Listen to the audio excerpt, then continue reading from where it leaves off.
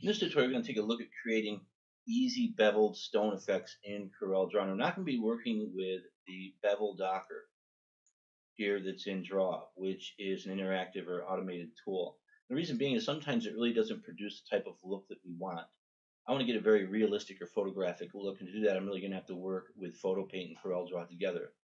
But this is really easy to do, and we can see the difference between the text design here, the Unsane Live Faster, and then when we've taken it and added the effect to it, we can see that the text and the design of the text actually pops quite a bit more because we've added depth through the bevel and then the stone type effect. Now to do this is really easy. I've got a simple graphic that I set up here as text.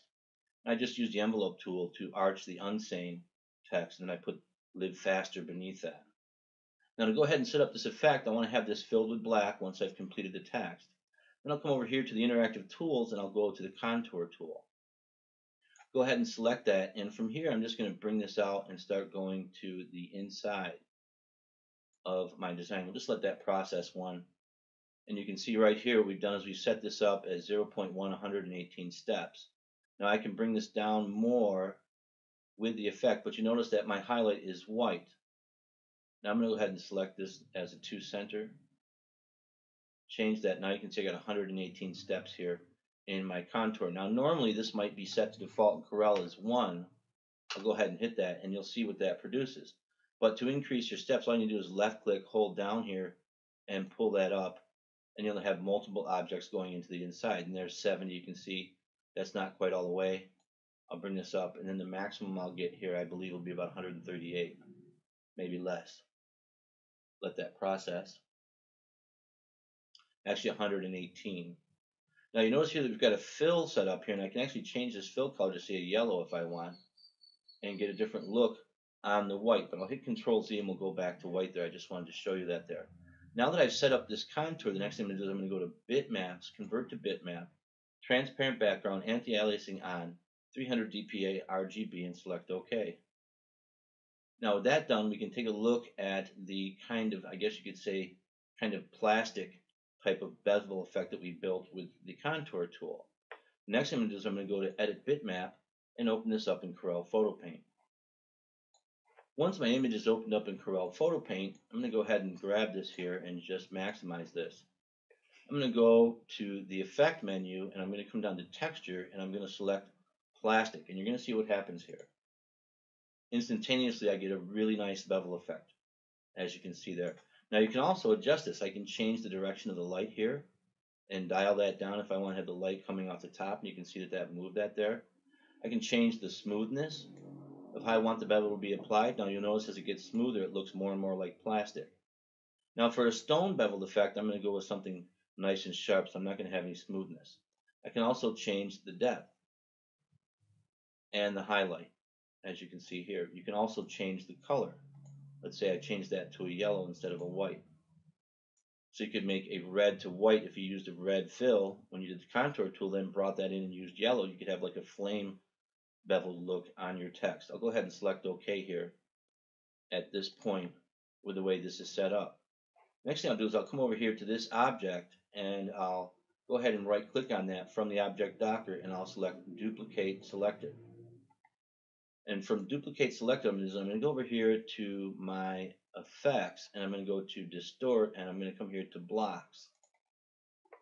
And I'm going to set that up. Now you can see that that's kind of roughing that out, breaking it apart, which is going to be the foundation for our stone effect on top of our beveled effect. You can see that you can change how these blocks are set up by size, block width, block height, and also change the offset between the blocks go ahead and bring this right out to 10 also. Make sure that's at 10. I can actually key that in just so that it's the same. And I can see that effect. Now I'll change my offset here just a little bit more and select OK. Next thing I'll do is I'll go ahead and I'll go to Effects and Blur. I want to smooth that out just a little bit. So I'm going to go to Gaussian Blur, working in Photo Paint. One will be fine and select OK. Next thing I'll do is I'll hold Shift with both objects selected in the Docker right click here and go to combine and select combine objects together. Then I'll do is I'll go again to effects and texture and I'll come down here to plastic and you can see my stone effect and I'll smooth that out just a little bit. select OK, and that's fine. Now some of this has a little bit of a hard edge on it, but you can fi fix that very simply by going to Effects and then to Blur again, and then selecting Gaussian Blur and soften that up just a little bit. You might want to go a little bit less than one pixel here, just enough to smooth that out and select OK. And we'll just go ahead and click on Save here, and that'll save that back into Corel Draw. I'll go ahead and close Photo Paint. You can see our effect here. Now, what I'm going to do with this, because I want to get back to the vectors, I'm just going to go ahead and duplicate this over here, and I'll just go ahead and copy this. And then I'll just hit Control Z until I get back to my vector. I didn't really need to duplicate that. Want to get back to before I put on the contour effect with my actual text.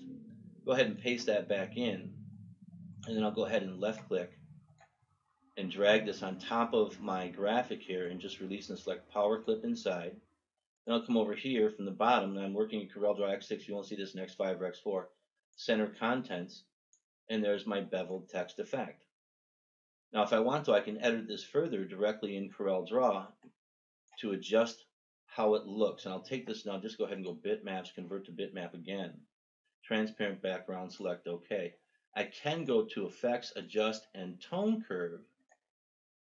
Set this to straight, and I can lighten this up if I want to give it a lighter look. Pull up that way, and you can see I'll be able to edit how the intensity of the dark or the bevel is being displayed through the pixels.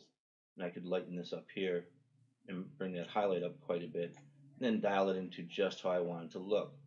Now I could go further and power clip it back inside the vector, put an outline around it, and using the design, etc. But creating a very realistic beveled stone effect in CorelDRAW, working with PhotoPaint at the same time, is very easy to do. And now you can add this to your design assets or your arsenal for creating designs when you're working with customers. And this can also be a great tool for upselling. You know, you can start with the vector, what, you, what the client wanted, and then add some effects to it and say, you know, this is what you asked for, but we add some of these cool effects to it. What do you think? Which one do you like better?